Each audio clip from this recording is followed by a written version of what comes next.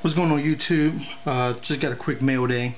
I am um, going to a car show on Friday, and you may wonder why I have this DeLorean back here. Going to a car show, and there's a race car driver named Rex White who's going to be there signing autographs. And I figured, let me see what else I can get signed, because I didn't have anything for him. So I looked on eBay, and there was a, a race car um, on there.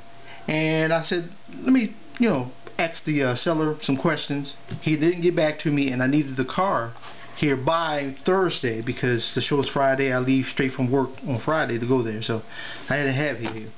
So anyway, I uh, didn't get an answer. I went on to order the car, and he decided to ship it right away. Now the box came, which is this here. It feels ounces. Um, it's not that heavy, and I'm thinking I'm getting a die-cast car 164 I don't know too much about cars.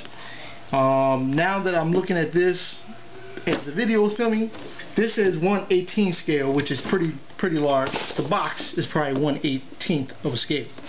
So I'm guessing I probably have the wrong item in here uh, meaning the right car but again I didn't know too much about these race cars so I figured I'll share it with you. Hopefully it's big enough for him to sign if not, uh, I don't know what I'll do. But go ahead and see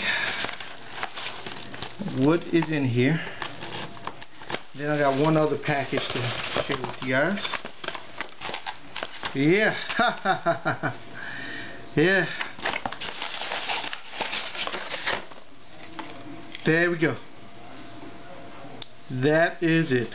164th scale of a car. I had a feeling, had a feeling. Uh, yeah. So that's Rex White race car. I think I've learned my lesson when buying cars online. Alright, well that's that. Now I have to figure out if I can get a card, a racing car in here, card for him to sign or something down that line. Uh, here's the other package. I'm not sure if this is eBay, if this is a trade. And it looks like the it's a trade. Yeah, this is uh, somewhat of a trade on Beckett.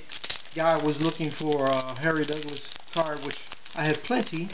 In return, he was going to send me a lot. Uh, actually, there was a bonus involved because he's just trying to complete the set and I'm the only person who uh, pretty much helped him out at the moment. So anyway if I can get these open